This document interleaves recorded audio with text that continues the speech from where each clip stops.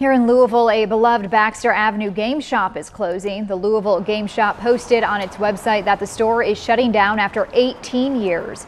The owners say the decision was made because of worker owner burnout, an increasingly frustrating industry and ongoing health concerns with one of the owners.